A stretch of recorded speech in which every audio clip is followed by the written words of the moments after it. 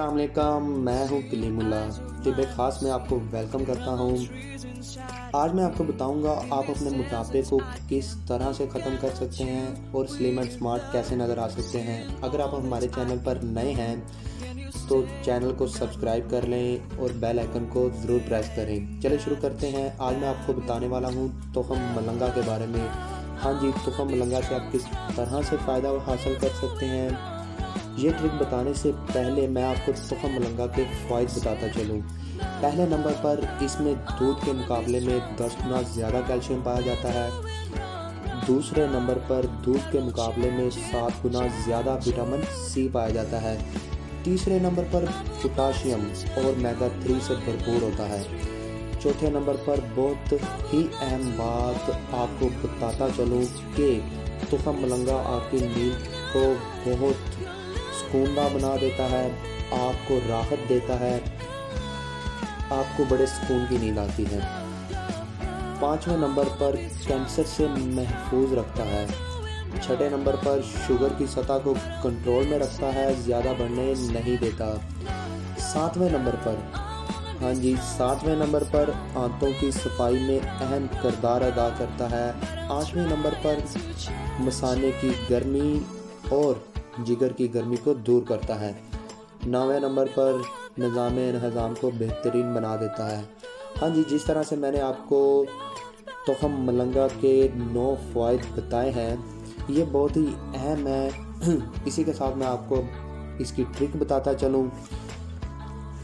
सबसे पहले आपने क्या करना है, आपने एक गिलास भरा हुआ पानी का लेना है। एक गिलास भरे हुए पानी में आपने दो चम्मच तुखम मलंगा के मिला देने हैं। दो चम्मच तुखम मलंगा के मिलाने के बाद आपने इसको अच्छी तरह से हिला देना है, इसमें शामिल कर देना है। फिर आपने इसको 30 मिनट के लिए छोड़ देना है। 30 मिनट के बाद तुखम मलंगा फूल जाएगा।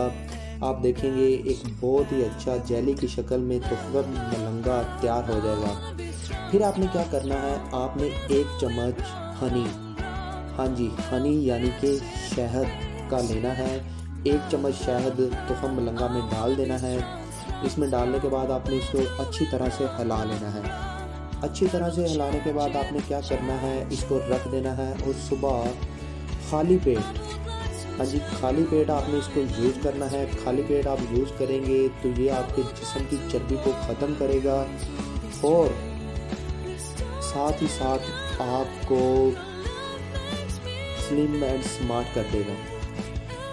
ये अमल आप जैसे जैसे करते जाएँगे 10 दिन के अंदर अंदर आपको महसूस होना शुरू हो जाएगा कि ये आपके जिसम की चर्बी को ख़त्म कर रहा है। जैसा कि आप जानते हैं कि शहद, मौत के अलावा बहुत सी बीमारियों का इलाज है।